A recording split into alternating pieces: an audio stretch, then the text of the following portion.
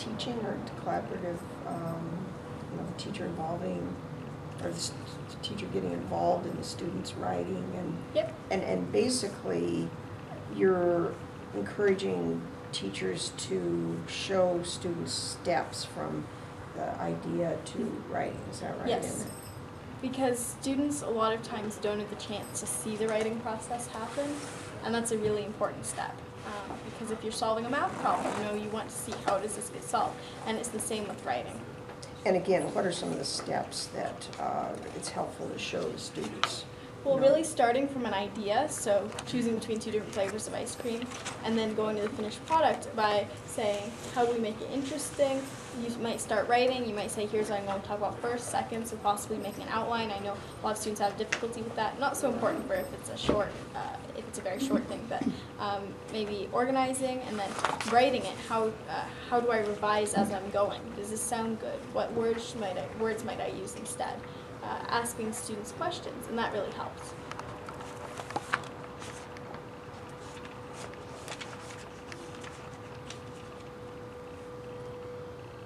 And um, again, the, the personal narrative, um, uh, how, now you said that kids really enjoy telling stories verbally, but sometimes they think that life is so boring that they can't write something. And again, what are the steps that a teacher can use to um, encourage a student to write an interesting, you know, make that leap to an interesting story on paper? I think uh, by asking questions, so maybe directing it, like tell us about a time you were getting students to raise their hands and just say it verbally first. You- Uh, You mean, uh, you mean uh, telling the story verbally. Maybe not necessarily the whole story, but just saying, uh, oh, when I um, when I uh, took my bike to. Uh, I'm trying to of a good example. Um, okay, so for instance, maybe a time I was brave when I rode my bike all the way down a big hill.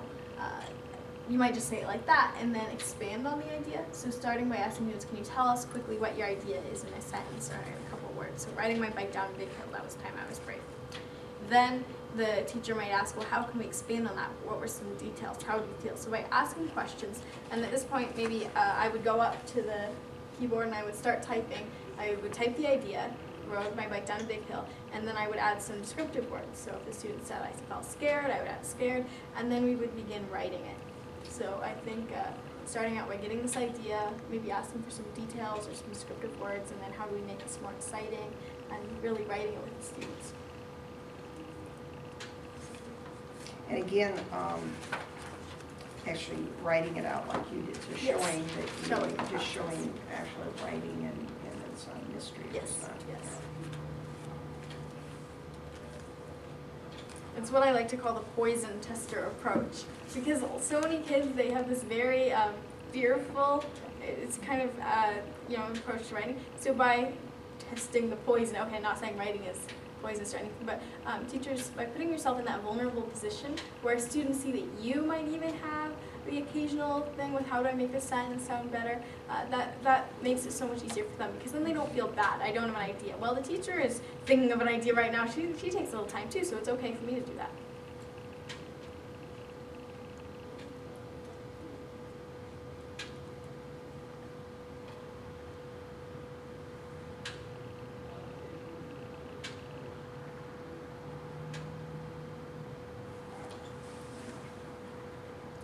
And any, any other examples of technology, you're talking about the blog and the, um, um, well, the chat rooms, you were talking about chat rooms. Can you set up a chat room with students and, and, you know, and just, and get them, and you said that that really helps kids learn how to type, is that, or is that?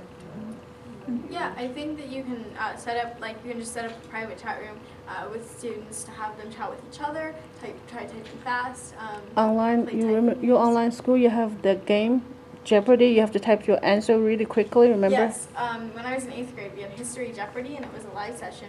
We would go into the virtual room. It was like an Elluminate session. I don't know if any of you have had experience with that. Um, and so then the way it worked was we had a whiteboard that had the presentation, the Jeopardy questions, and the chat.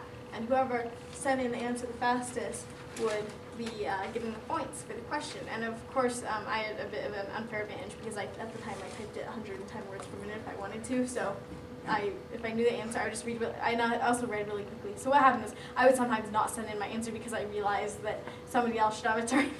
but um, I and sometimes I did get beaten by people actually at school. But actually, that kind of that high pressure uh, can be used for a good thing. Sometimes it turns people off the high pressure. If you have to solve a math question really quickly, it just freezes up your mind. But when it's typing and when it's fun and not necessarily um, really high consequences, then it makes it better.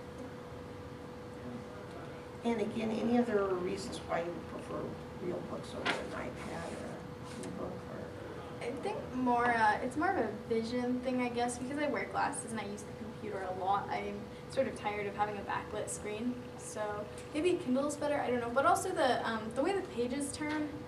If because I read pretty quickly, then I clunky to, yeah, and I turn the pages. Yeah, and I like to, I do like to flip back, but you can't with an iPad. You can't stick your thumb at page 140, go flip ahead to somewhere in 160, flip back to 140, and say, oh, that's you, know, you can't do that with the well, mm-hmm. sticking your finger at a page.